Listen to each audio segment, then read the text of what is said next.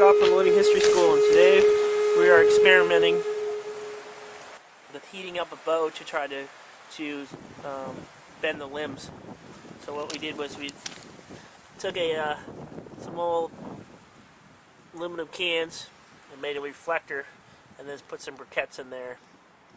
And now they're all basically white hot. We're gonna put the part on the bow. We're gonna put in the heat over top of the heat and try to bend the bow where we need it because you can't of course, every stick or bow is uh, not equal on both ends, so you have to try to match them. And so, so that's what we're going to attempt to do today. So we had to put a, a separate piece on there with duct tape. so something I learned is uh, yeah, you don't want to take off the uh, the middle part, so you want to leave that a little thicker on this type of bow. Actually, any any kind of stick bow.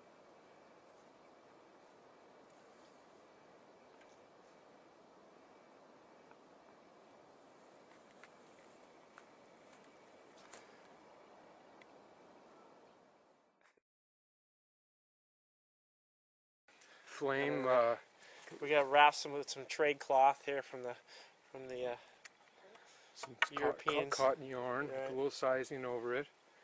It's an awesome looking bow. I think I'm gonna stand back a little bit myself.